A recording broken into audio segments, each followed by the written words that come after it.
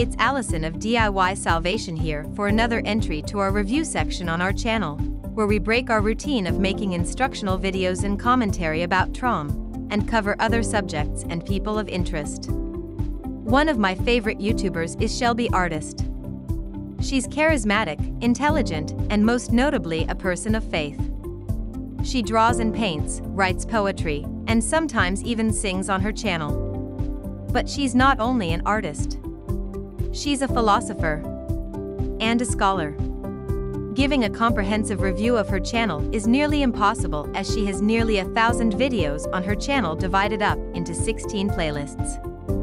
No matter what your interests are, you're likely to find something on her channel that will either educate or inspire you. She's no fan of the Church of Scientology.